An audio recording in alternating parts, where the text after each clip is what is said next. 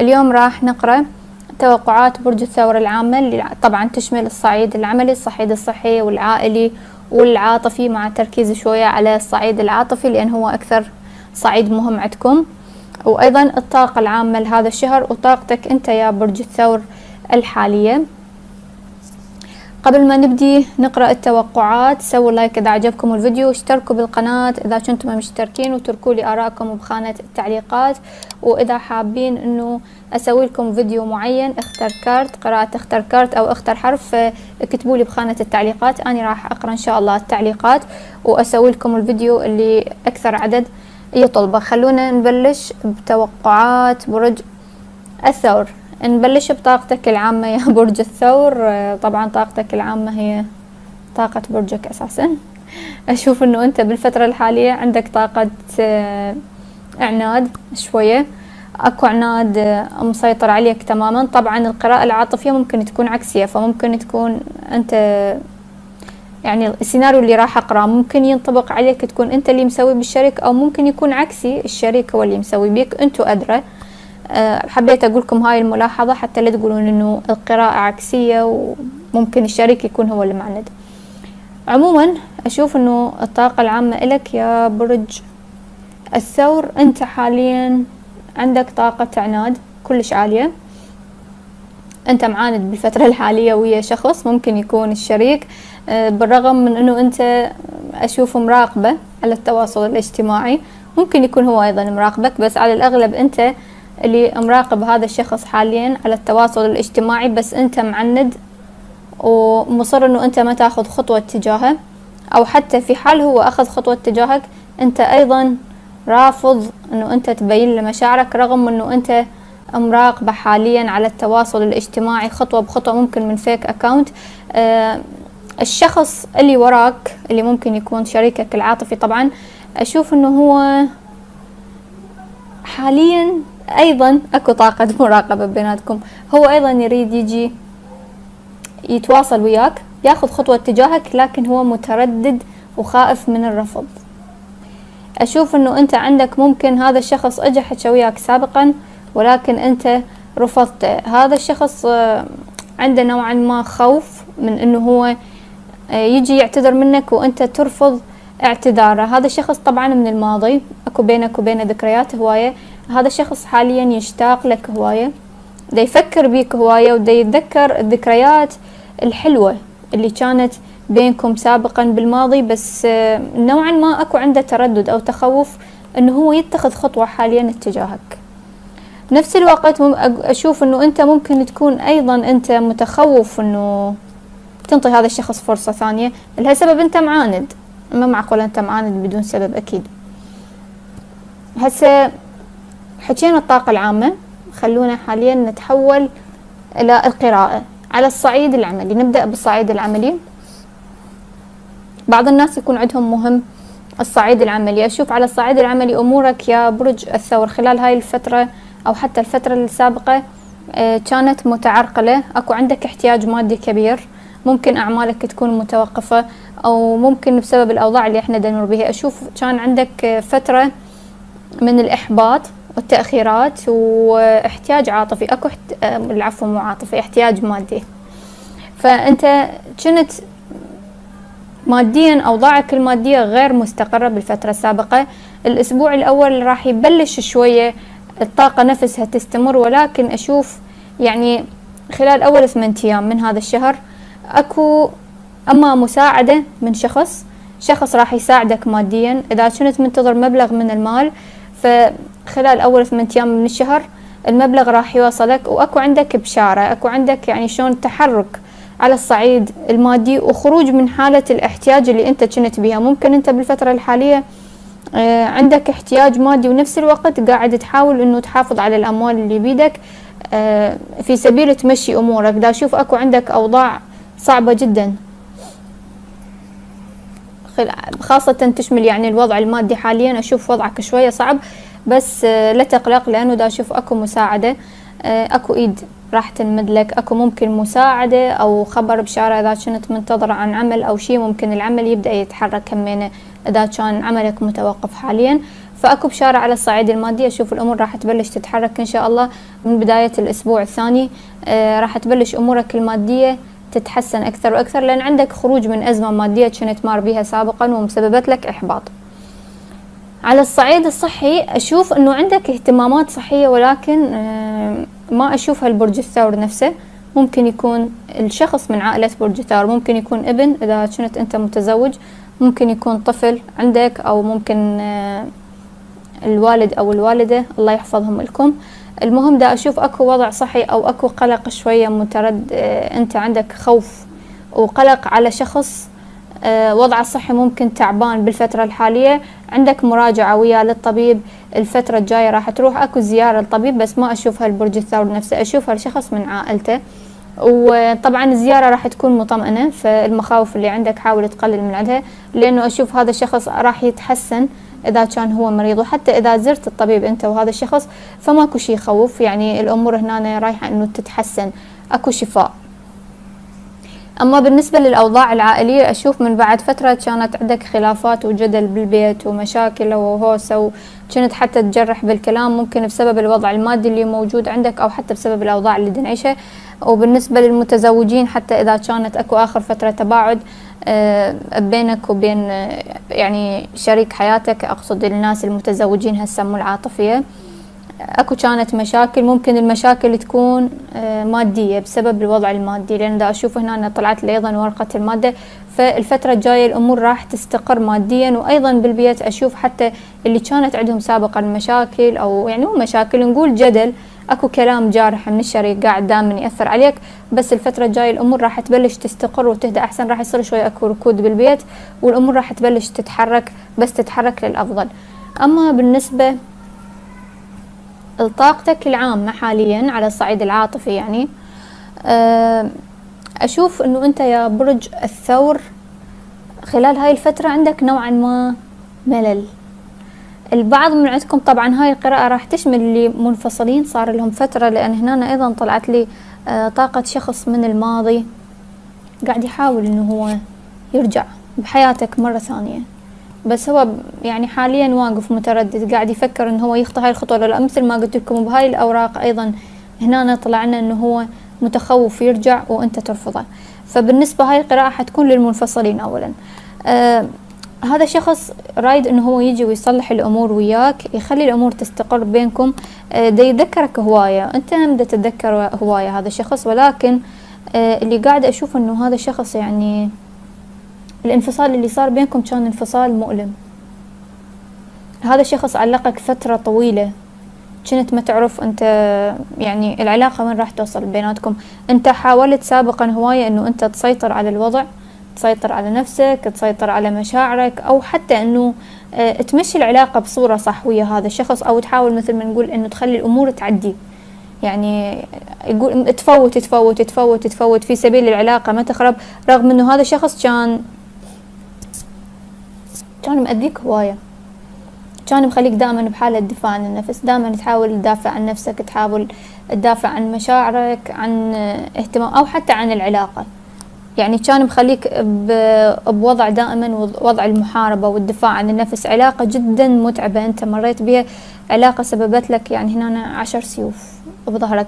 يعني هاي سوت الآلام كلها بيك. هذا الشخص بعلاقته وياك ممكن يكون آه، خانك ممكن يكون يعني آه، كان تعامله وياك مو زين. ممكن كان حتى يجرحك بالكلام يقلل من قيمتك. يحاول دائما إنه هو يحبطك. علاقته علاقتك بهذا الشخص علاقة جدا متعبة لأن أساسا هنا طاقة العلاقة بينكم. أنت عندك طاقة ال four of cups بس مقلوبة وعندك طاقة ال ten of wand طاقة التعب. هذا الشخص كان جدا جدا متعب والعلاقة هاي متعبة لك فأشوف إنه أنت حاليا عندك طاقة ملل. أنت البعض من عندكم عنده إحساس إنه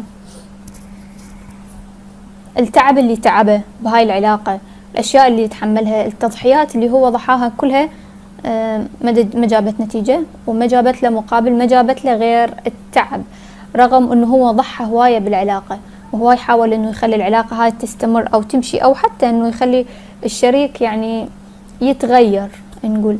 بس أنت وصلت لمرحلة إنه أنت مليت وهذا الشخص علقك فترة طويلة البعض منكم ممكن كنت أنت تطلب من هذا الشخص أنه هو يرسم العلاقة. صار لك فترة كلش طويلة بس هو يماطل يماطل بالموضوع يماطل يماطل لحد ما أنت وصلت مرحلة أنه اكتفيت وتخليت عن الوضع. رغم أنه أنت عندك تعلق حاليا بهذا الشخص. هذا الشخص أشوف الطاقة مالته آه، طاقة عدم نضوج عاطفي. ممكن يكون هذا الشخص يعني قد ما هو بغض النظر عن العمر إذا ما كان بينكم فرق بالعمر. بعض منكم هذا الشخص أكو فرق بينك وبينه بالعمر رغم إنه هو ممكن أكبر منك بس آه، هو طفل هو طاقته طاقة طفل. يعني عنده تصرفات مال المراهقين وهذا أكثر شي كان متعبك بالعلاقة وياه إنه هو تحس إنه هو مو قد المسؤولية تحس إنه هو يعني بعد مشاعره مو ناضجة.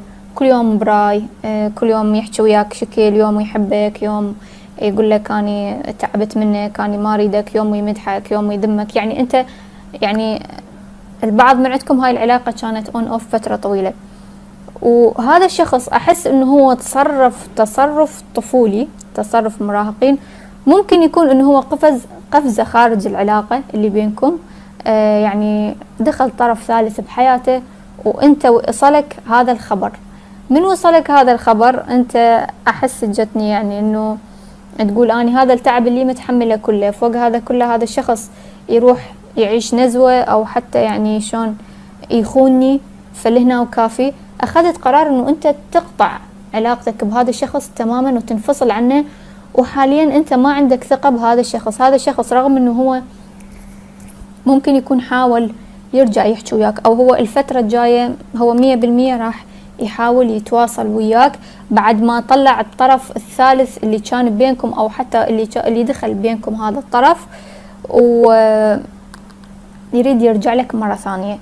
أنت وهذا الشخص رغم إنه أنتم منفصلين انفصلتوا أنتم هسه حاليا ما أشوفكم. البعض منكم ما منفصل صار لفترة طويلة يعني. آه بس أكو شي بينك وبين هذا الشخص بعد ما منتهي. أكو درس هذا الشخص لازم يتعلمه منك. يلا العلاقة اللي بينكم تنتهي. انتو لحد الآن الصفحة اللي بيناتكم من غلقت بشكل تام. لأن أنت قاعد تتواصل وياه روحيا وهو قاعد يتواصل وياك روحيا. فانتو آه بعدكم لحد الآن دا تتذكرون الذكريات الحلوة اللي كانت بينكم. رغم إنه انتو التواصل بينكم مقطوع وعايشين على المراقبة حاليا هو خايف إنه يتقرب ويتواصل رغم إنه هو دا يفكر يتواصل وراح يتواصل خلال أسبوع.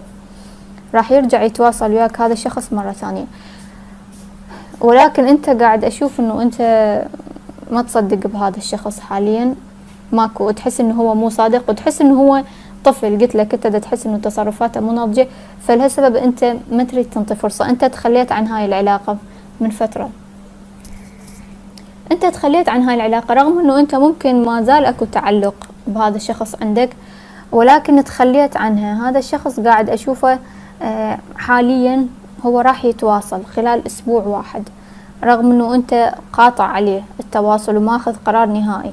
بس هذا الشخص كان منتظر صار له فترة الأمور تهدى أو حتى منتظر متأمل إنه أنت راح تنسى الموضوع اللي صار وطلع الطرف الثالث اللي كان موجود بيناتكم. وحاليا بلش يخطط إنه هو يرجع مرة ثانية يدخل بحياتك. هذا الشخص أنت راح يكون أكو بينك وبينه كلام. و اكو البعض من عندكم راح يكون صلح بس بتدخل. الناس اللي راح يتدخل شخص ثالث بينكم ويحاول يصلح الوضع. ممكن يكون شخص من العائلة أو ممكن يكون صديق مشترك. راح يحاول إنه هو يتدخل ويحل الأمور. طبعا هاي أيضا تشمل المطلقين مو فقط الناس اللي يعني مرتبطين ومنفصلين لا. أشوف أكو شخص راح يحاول إنه يتدخل ويصلح العلاقة بيناتكم وراح يصير بينك وبين هذا الشخص مواجهة وكلام وحيصير عندك وضوح بهواية أمور. من بعد ما راح يصير كلام بيناتكم راح يصير عندك وضوح بسبب ظروف هذا الشخص. سيناريو ثاني طالع قدامي البعض من عندكم آه العلاقة هاي كان بيها طرف الطرف الثالث آه مو خيانة وإنما شخص من العائلة من عائلة الشريك كان رافض العلاقة اللي بينكم أو حتى ممكن رافض موضوع الزواج معارض.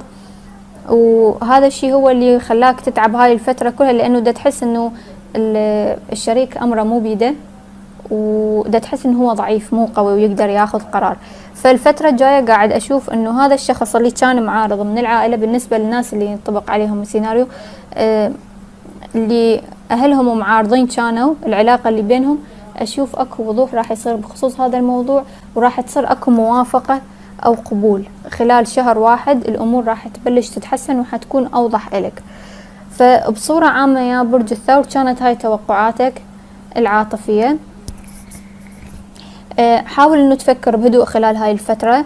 آه، حاول إنه تسمع هذا الشخص حتى إذا ما رجعت له لأن هذا الشيء راجع لك طبعا أنت أدرى هو شنو اللي سواه أو يسامح أو لا.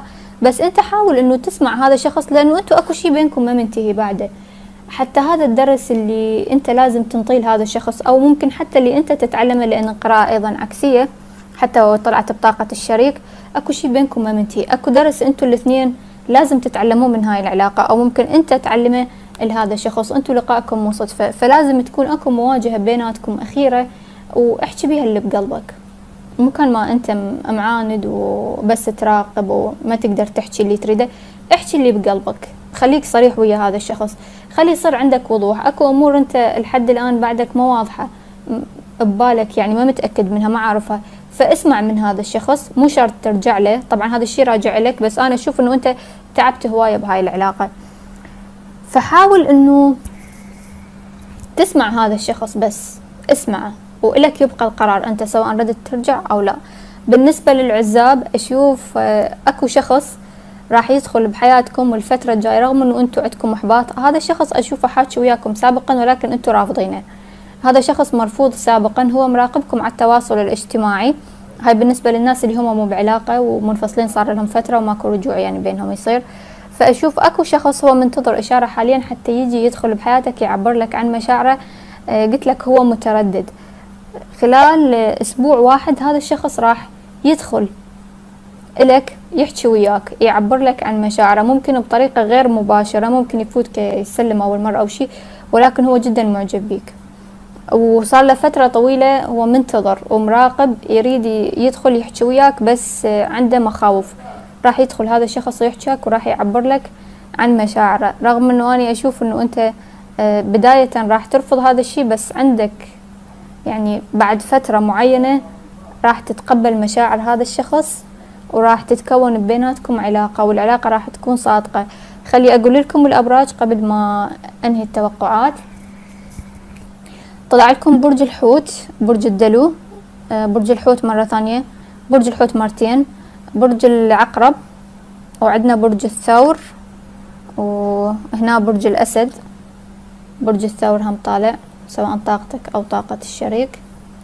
وبعد ها هي هاي الأبراج اللي كانت موجودة. الطاقات اللي موجودة هي طاقات آه، ترابية وطاقات مائية ونارية. الهوائية قليلة جدا يعني بس طاقة برج الدلو كانت موجودة. فهاي الطاقات قلت لكم عليها. قلت لكم التوقعات وأتمنى لكم التوفيق. وإن شاء الله آه، شهر ستة يكون شهر حلو عليكم. تتصلح بيه كل أوضاعكم وكل أموركم. أشوفكم إن شاء الله بفيديو ثاني. وتركوا لي آراءكم بخانة التعليقات شنو رأيكم بالفيديو؟ ألتقيكم بفيديو النصف الثاني من شهر ستة إن شاء الله.